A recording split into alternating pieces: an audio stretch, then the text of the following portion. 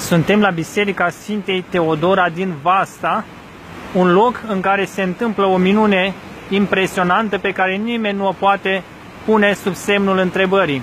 Vedem acești copaci crescuți deasupra Bisericii Sfintei Teodora, biserică din piatră, 14 copaci, copaci crescuți în chip minunat și care, iată, se sprijină pe un acoperiș de piatră de doar câțiva centimetri, ei având o grosime, o grosime impresionantă și vedem că deși sunt atât de grei, totuși acoperișul îi susține.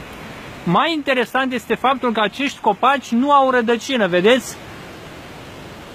Acesta este trunchiul lor și nici în exterior și nici în interior nu găsim vreo rămășiță a unei rădăcini.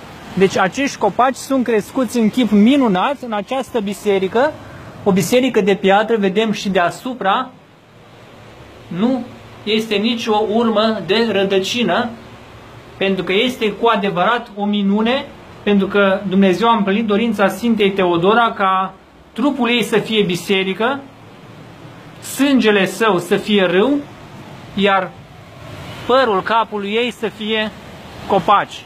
Și vedem aici și râul pe care Dumnezeu l-a adus din altă parte, din altă direcție, să curgă aici lângă Biserica Sfintei Teodora și să împlinească dorința ei. Iată copacii crescuți în chip minunat deasupra bisericii, minune pe care nu o poate explica niciun om de știință și niciun savant al acestei lumi, pentru că unde vrea Dumnezeu se biruiește rânduiala firii și se lucrează cele mai presus de fire. Pentru rugăciunile Sfintei Teodora, Doamne Iisuse Hristoase, Fiul lui Dumnezeu, miluiește-ne și ne mântuiește pe noi. Amin.